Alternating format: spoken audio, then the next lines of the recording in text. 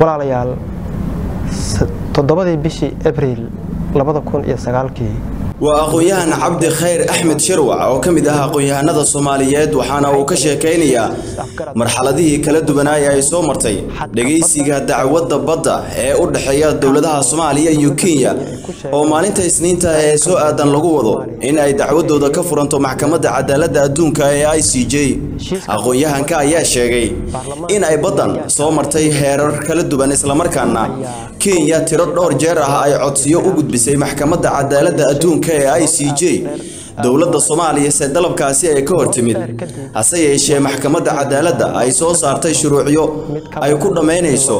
Xiisadda badda ah ee u dhexaysa labada dowladood ee soomaaliya iyo kenya. Waxaa la soo jeediyey baarlamaanku saddex qodob.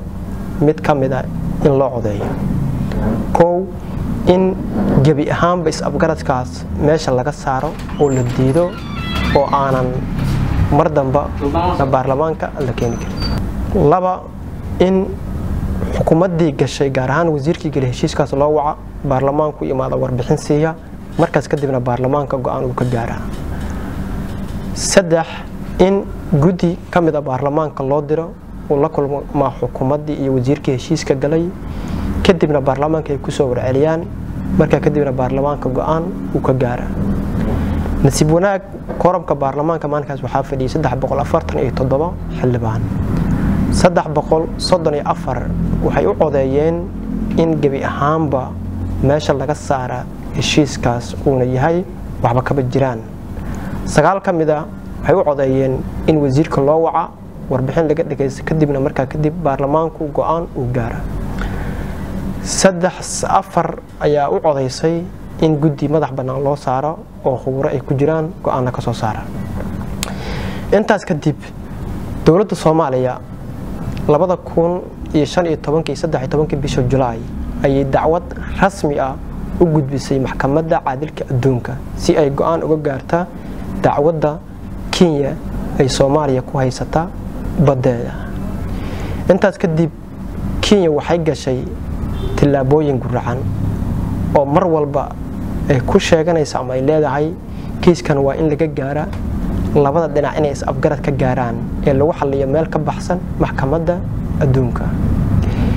Dowladda soomaaliya markii u gudbisay tobankii dacwadda maxkamadda caadilka adduunka i c g labadii bishii tobankii ayay maxkamaddu ogolaatay in ay dhagaysan karta kiiska badda ee dacwadda u dhexaysa soomaaliya iyo kenya. Dacwad maxkamadda adduunka caadilka adduunka i c g waxay go'aansatay dhegaysiga in la qaban doono sagaalka ilaa saddex iyo tobanka bisha sebtembar labada kun toban iyo sagaalka.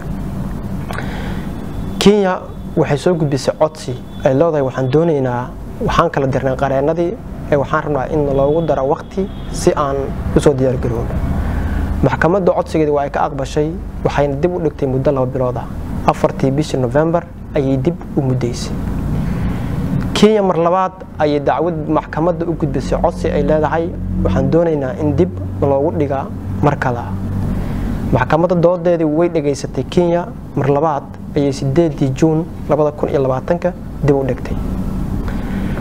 Mar saddexaad ayay kenya codsatay oo ay tiri coronavirus owey waxaan codsanaynaa in mar laba mar saddexaad dib loo dhigo oo muddo hal sano ah dib loo dhiga cudurkan jira oweys maxkamaddu markay dhegaysatay dooda kenya iyo daruurta markaas jirtay waxay haddana dib u muddaysay shan iyo tobanka bisha maaj labada kun labaatan iyo kow oo hadda loo madlan yahay. Aqoon-yahanka ayaa dhammaan bulshada soomaaliyeed iyo siyaasiyiinta waxa uu ugu baaqay inay u midoobaan sidii kenya ay kaga hortegi lahaayeen in ay dhulkooda hooyo ee soomaaliya qaadato. Taasi oo ah badda hadda ay ku haysato soomaaliya waxaanan la ogeyn go'aanka ka soo bixi doono maxkamadda cadaaladda adduunka maadaama labada dowladood ay fadhiisan doonaan. Waxaan doonayaa ummadda soomaaliyeed inaan u sheega qof kasta oo muwaadin soomaaliyeed ah dastuurka dalka oo ah sharciga ugu sarreeya wuxuu siinayaa xuquuq iyo waajibaad. Qodobka afartan iyo labaad ee dastuurka muwaadin kastoo soomaaliyeed wuxuu saarayaa waajibaad ah inuu difaaca dhulkiisa ama geyiga soomaaliyeed. Cir dhul bad hawo meel kasta in ay waajib ku tahay inuu difaaco. Waxaana dhigahaya qodobka afartan iyo labaad farqadiisa ay ama farqada ugu dambeyso ayaa dhigahaya. Haddii aan nahay muwaadiniinta soomaaliyeed waxaa nala gudboon in aan u midowno. Cumar guuxraadiyaha iyo tv-ga city jowhar